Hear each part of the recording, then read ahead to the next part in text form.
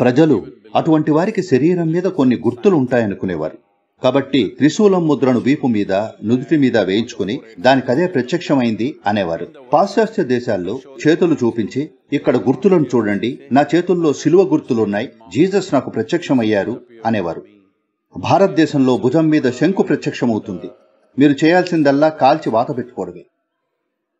మీరు శంకు చక్రాలు పెట్టుకోవచ్చు లేదా శిలువ ముద్రలు వేసుకోవచ్చు లేదా మీకు నచ్చిన దేన్నైనా పెట్టుకోవచ్చు. ఒక విధంగా ఆత్మజ్ఞానం అంటే మీరు ఒక కళంకం లేని జీవం. ఎటువంటి ముద్ర ఉండదు. మీకు మీరు ఒక ముద్ర వేసుకుని ఆత్మజ్ఞానం కలిగింది అనుకుంటే వెరీ సారీ. మరి ముద్రలు లేకపోతే గుర్తుపట్టడం ఎలా? అంటే మీరు గుర్తించలేరు. యూ కెనాట్ రికగ్నైజ్ ఇక్కడున్న వారిలో ఎవరికైనా నేను ఆత్మజ్ఞానం పొందాను లేదో ఎలా తెలుస్తుంది? దాని గురించి నేను ఎప్పుడు వ్యాఖ్యానం చేయలేదు కదా. మరి వారికి ఎలా తెలుసు? వాళ్ళు అయి ఉండొచ్చు అని అనుకుంటున్నారంతే. చూడండి మీరు వెళ్ళి మీ ఎల్కేజీ టీచర్ ముందర కూర్చున్నప్పుడు ఆయనకో లేదా ఆవిడకో ఎంత విజ్ఞానం ఉందో మీకు తెలుసా? తెలీదు. కానీ వాళ్ళకు ఏబీసీ తెలుసు. మీకు అవి తెలియదు కాబట్టి మీరు కూర్చుంటారు.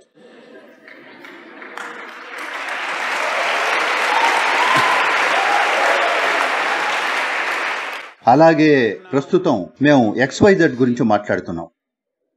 మీకు అది తెలియదు కాబట్టి మీరు కూర్చుంటారు.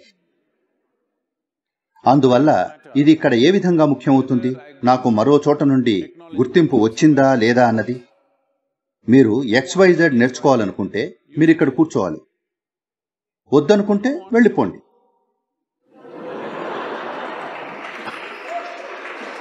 సో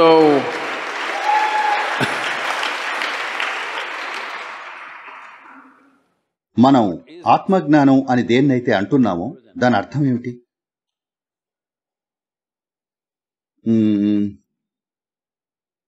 మీకు తెలుసా డే బ్రేక్ అన్న మాట విన్నారా మీరు అదొక మంచి పదం అది నాకు నచ్చిన పదం దాన్నే సూర్యోదయం అంటారు అదే day broke. Is it? No, it's a night that broke. Hello? పొద్దు పొడిచింది అంటే దాని అర్థం రాత్రి తొలగిపోయింది అని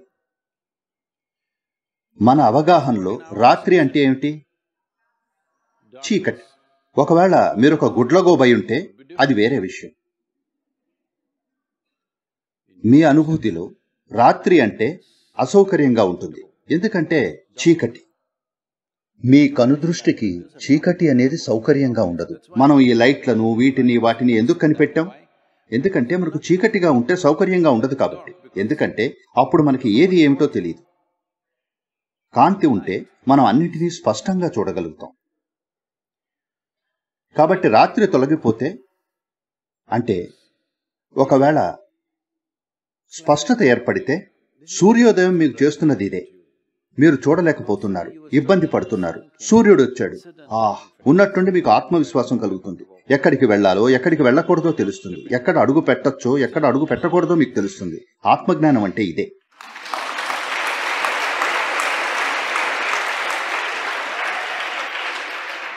స్పష్టత వచ్చింది. మీరు అన్నింటినీ స్పష్టంగా చూడగలుగుతున్నారు.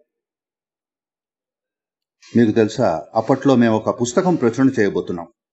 కొన్ని ప్రవచనాల సమాహారం అది. దానికి ఒక పేరు చెప్పమని నన్ను అడిగారు. నేను అందులోని అంశాలను చూసి ఆఫ్ మిస్టేక్స్ అండ్ మిస్టేక్స్ అని చెప్పాను. మా ఇంగ్లీష్ డిపార్ట్మెంట్ వాళ్ళు సద్గురు ఇది మరీ ముఖం మీద చెప్పినట్లుంది. కాస్త సున్నితమైనది ఏదన్నా చెప్పండి అన్నారు. అందరూ నన్ను ఎప్పుడు సద్గురు కాస్త సున్నితమైనది ఏదన్నా చెప్పండి. మీరు చెప్పగలరు ప్రయత్నించండి అంటూ ఉంటారు. నేను చెప్పగలను కానీ నేను అలా చెప్పాలనుకోవడం లేదు. ఎందుకంటే ప్రజలు దాన్ని ఎన్నో విధాలుగా వక్రీకరిస్తారు. ఒకవేళ మీరు ముఖాన కొట్టినట్లుగా చెబితే అప్పుడు వాళ్ళు అదే. వాళ్ళు దాంతో మరీ ఎక్కువగా కలగజేసుకోరు. కనుక నేను వారితో ఆఫ్ మిస్టేక్స్ అండ్ మిస్టేక్స్ అని చెప్పాను. దాని అర్థం ఏమిటంటే కేవలం రెండే రెండు రకాల ప్రజలుంటారు. మార్మికులు ఇంకా పొరపాట్లు మీరు కనుక విషయాలను ఉన్నది ఉన్నట్లుగా చూడగలిగితే ప్రజలు మిమ్మల్ని మార్మికుడు అంటారు. మరి వారేమిటి? వారొక పొరపాటు. వాళ్ళు జీవితంలోని ప్రాథమిక అంశాలను అవగాహన చేసుకోవడంలో పొరపాట్లు చేస్తున్నారు. అదే విషయం. అవునా?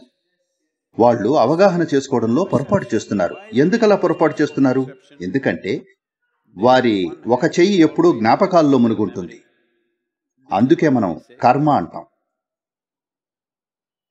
వాళ్ళు జ్ఞాపకాలని మేధస్సుగా పొరపాటు పడుతున్నారు. వాళ్ళు చేస్తున్న పొరపాటల్లా అదే. ఒకసారి మీరు జ్ఞాపకాల్ని మేధస్సుగా పొరబడితే ఇక మీరు అయోమయంలో పడినట్టే.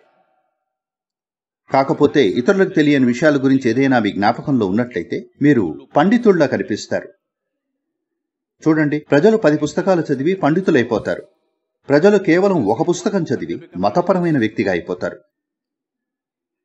కేవలం ఒకే ఒక్క పుస్తకం చదవడం అనేది దేవుడికి ప్రతినిధిగా ఉండే అర్హతని ఎలా చేకూరుస్తుంది? ఒకవేళ మీరు ఒక పుస్తకం కంటే ఎక్కువ చదివితే మీరు ఆ విధంగా ఉండలేరు. అవునా? మీరు కేవలం ఒక్క పుస్తకం మాత్రమే చదవాలి. కాబట్టి ఇవే జ్ఞాపకాలను మేధస్సుగా పొరపడడం అంటే మన విద్యా విధానం అంతా ఈ చెత్త పద్ధతిలోనే ఉంది. జ్ఞాపక శక్తిని మేధస్సుగా పొరపడుతుంది. మీరు మీ జ్ఞాపక శక్తిని మేధస్సుగా పొరపడితే మిమ్మల్ని మేము ఒక కర్మ కేసు అంటాం. మీరు ఒక కర్మ కేస్. ఎందుకంటే మీరు మీ జ్ఞాపకాల ద్వారా జీవిస్తున్నారు. మీ మేధస్సును ఉపయోగించి కాదు. మీరు పూర్తిగా మీ మేధస్సును ఉపయోగించి జీవిస్తున్నట్లయితే మీ జ్ఞాపకాలను మీ మేధస్సును కలగాపులగం చేయకుండా జీవిస్తున్నట్లయితే అప్పుడు ప్రజలు ఓ ఆయన ఆత్మజ్ఞానం పొందారు అంటారు. ఎందుకంటే మీరు ఆయన వద్దకు ఏది తీసుకొచ్చినా ఆయన దాన్ని చూసి ఇది ఇది అని చెప్తారు. ఎందుకంటే ఆయన తన జ్ఞాపక శక్తిని ఇంకా మేధస్సుని కలగాపులగం చేయరు అంతే. ఇది ఇంత తేలిగ్గా అనిపిస్తున్నా ప్రస్తుతం మీరు అని దేన్నైతే అనుకుంటున్నారో అదంతా జ్ఞాపకమే. మీరు స్త్రీగా లేదా పురుషుడిగా ఉండడం అనేది ఒక జ్ఞాపకం. జ్ఞాపకం అంటే కేవలం మీ మెదడులో ఉండే మీకు గుర్తున్న జ్ఞాపకాలు మాత్రమే కాదు మీ శరీరం కూడా గుర్తుపెట్టుకుంటుంది. అవునా? ఒకవేళ మీరు నేను ఒకే భోజనం చేసినా నేను స్త్రీగా మారను మీరు పురుషుడిగా మారరు. అదే భోజనం నాలోకి వెళ్ళి ఒక పురుషుడిగా మారుతుంది. అదే భోజనం మీలోకి వెళ్ళి ఒక స్త్రీగా మారుతుంది. ఇది జ్ఞాపకం వల్లే. అవునా? ఈ శరీరం గుర్తుపెట్టుకుంటుంది. The body remembers. మీరు ఆ కోతి ఒకే భోజనం చేస్తే అది మీరుగా అవ్వదు. మీరు కోతిగా మారదు.